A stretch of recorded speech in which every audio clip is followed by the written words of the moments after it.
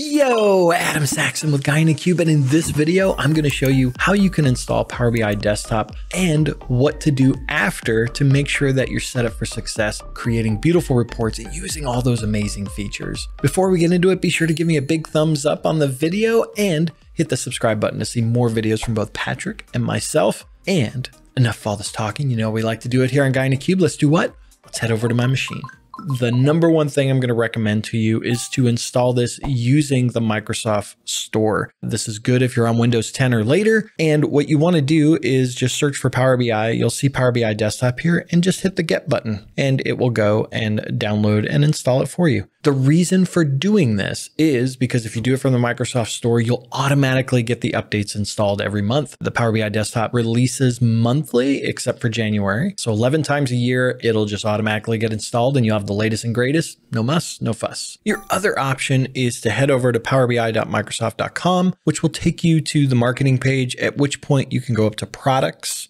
Power BI, desktop. From here, you can either just download free, that'll actually take you over to the Microsoft Store. The other option you can do to manually download it is to go to see download options. This will take you to the Microsoft download page, at which point you'll see both the 32-bit version and the 64-bit version available for you, and you can download those accordingly, and then go ahead and install it. If you go this route of manually downloading the MSI file, you have to do this yourself every month. So it's not going to be automatically updated. Or your organization may prevent you from doing Microsoft Store and they may have a deployment option for you. Nothing I can do about that. The other thing 32 bit, 64 bit, almost everything is 64 bit nowadays. I don't know why you would get 32 bit. I would default to 64 bit if you're not sure. Worst that'll happen is it won't work. You can uninstall it and then download the 32 bit version. You might be wondering about system requirements. So I did a video a while back talking about how much resources you need to run Power BI Desktop or what I think you should have to, to go and do this. I talk about what my current laptop is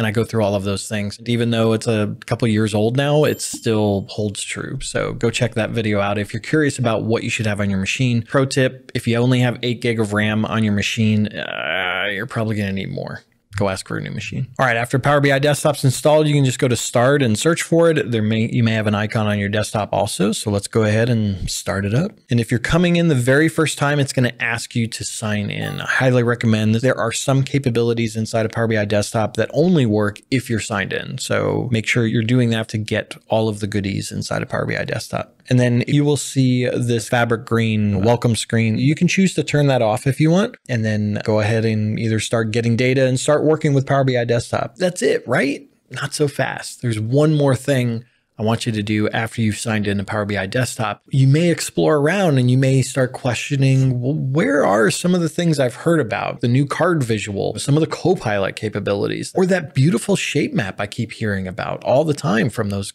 guys in a cube.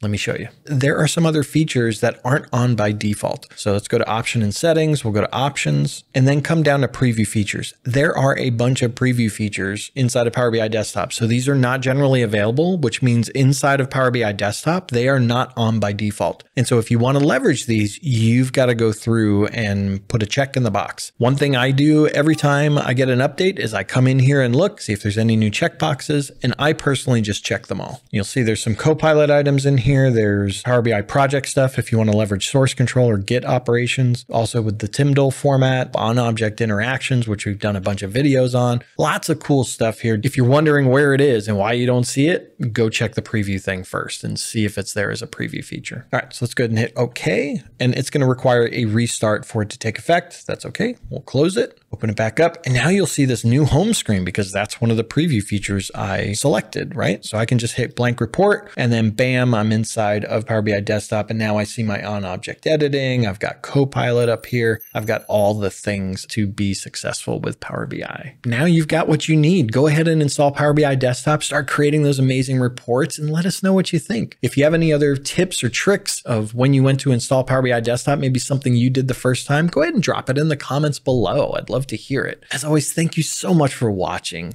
Keep being awesome, and we'll see you in the next video.